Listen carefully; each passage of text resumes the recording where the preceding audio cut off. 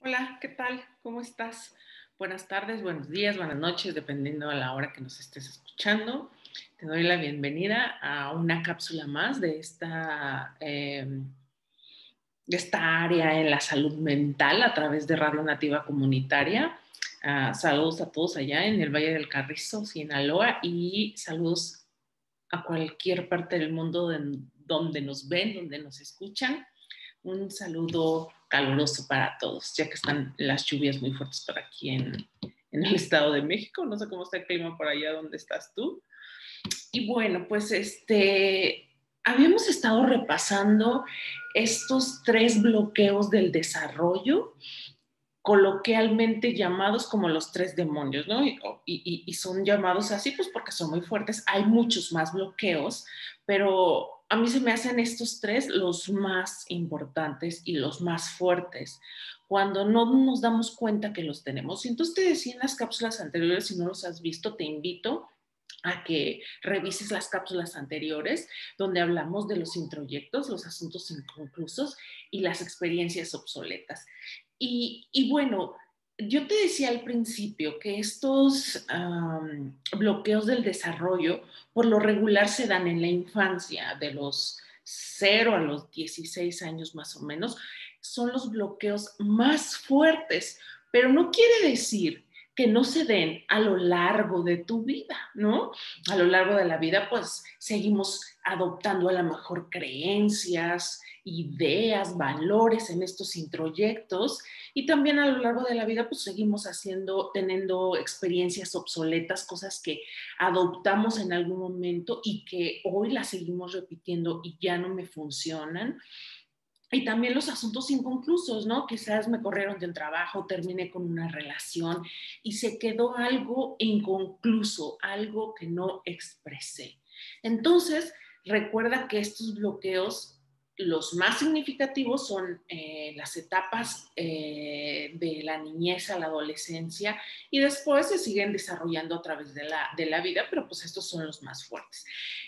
Quiero decirte que también estos bloqueos en algún momento nos ayudaron, nos ayudaron para sobrevivir porque pensábamos que moríamos como cuando éramos niños, ¿no? O sea, un niño un adolescente todavía es vulnerable a lo que recibe del exterior y más cuando recibe del exterior cosas de estas personas significativas, ¿no? Puede ser papá, mamá, abuelo, tía, eh, me cuidaron personas ajenas, no sé, personas que estuvieron mucho más relacionadas conmigo en estas etapas de mi desarrollo. Entonces, eh, pues nos sirvió, de alguna manera nos sirvió, nos ayudó para salir adelante. Y lo que yo creo que tenemos más, que habría que revisar, son los introyectos, o sea, esto que te decía, estas ideas, estas creencias, estos eh, valores, estas actitudes que vi ahí entonces, no sé, eh, son las que más tenemos y las que no nos cuestionamos hoy y cuando no la cuestiono, la sigo como una ley. ¿A qué me refiero? Es como, no sé, este, a mí me dijo mi mamá que no me podía acostar con cualquiera porque si no era una ¿no? Entonces, pues ni siquiera con mi marido, porque ni siquiera me he estado acostando con tanta gente, ni siquiera con mi marido puedo disfrutar de esa sexualidad. ¿no? O este, pues yo me, decía una paciente, es que yo nunca le cuestiono ni le pregunto nada a mi marido, pues porque yo no soy una persona que hace alborotos y que es celosa. Yo lo digo que se haga lo que sea, pero entonces esta idea que tiene ella de pensar que si le expresa al otro, oye, ¿cómo, ¿a dónde vas? O o a qué hora vas a regresar, le hace creer a ella que es una falta de respeto preguntarle al otro, a tu pareja, porque pues el marido se iba viernes, sábado, domingo y se iba a tomar y, llegaba y ella no le decía nada, ¿no? Y entonces esto a lo largo de la relación, pues les ha afectado y, y el día de hoy están a punto de divorciarse porque ella ya no aguanta esto, ¿no? Y se ha reprimido de alguna manera esta, estas ganas de expresar, estas ganas de decirle al otro, estas ganas de cuestionar al otro que está haciendo. Y entonces lo deja pasar y lo deja pasar. Y entonces va haciendo una bola mucho más grande, mucho más grande, mucho más grande, y que llega un momento en que esto explota. Y así como estas ideas, hay un montón, ¿no? Como los hombres no lloran, o si, o si, eh, si te pones triste en algún momento eres uh, débil, ¿no? O, o, si te enojas, pues no, no te puedes enojar porque pues eh, las niñas, los niños, ¿cómo crees? Calladita te ves más bonita. Y entonces, todas estas ideas nos perjudican de alguna manera. Entonces yo te invito a que lo revises.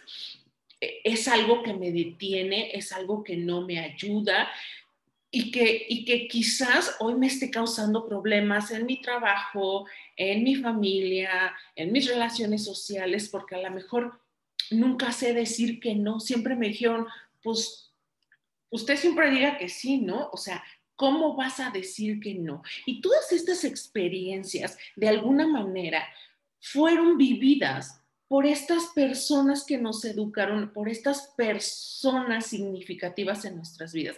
Pero no quiere decir que así aplique en mí. Ellos así le hicieron, así nos enseñaron, no porque quisieran perjudicarnos de alguna manera, es lo que saben, es también lo que aprendieron. Pero hoy tienes que cuestionar si eso que me enseñó mi mamá, mi papá, mi tío, mi abuelo, quien me cuidó, me sirve a mí. A ellos quizá les sirvió en algún momento también y quizá ya no les sirve. Y así le siguen haciendo y es muy respetable cada quien. Pero ¿qué pasa cuando a mí ya no me funciona esto y me está causando muchos problemas y me está causando mucho dolor en mi vida y me está causando que yo no avance y que cada vez esté más encerrado, más encerrada en esta situación que ya no soporto? Entonces, yo te invito a que lo revises, yo te invito a que lo tomes en cuenta y que les sirvió a ellos y ellos no son igual a ti.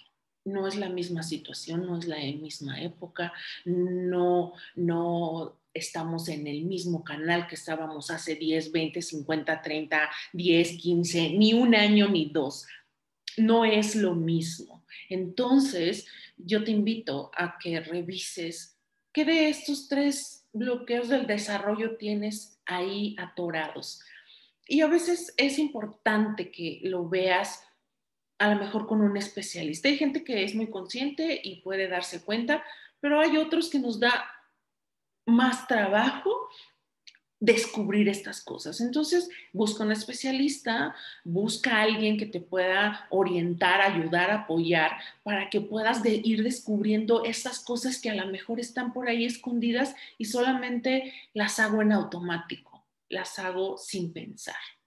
Ok, pues bueno, espero que, que haya quedado claro esto y escríbeme, eh, ponle un like, eh, compártelo si, si, crees que alguien le puede, este, puede ocupar esta información. Y pues bueno, nos vemos en la siguiente cápsula. Que tengas muy bonito día. Bye.